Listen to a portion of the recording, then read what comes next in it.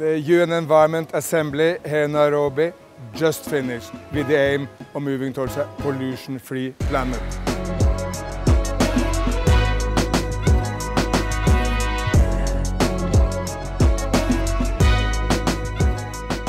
What we accomplished was that common sentiment, that common ambition to fight pollution.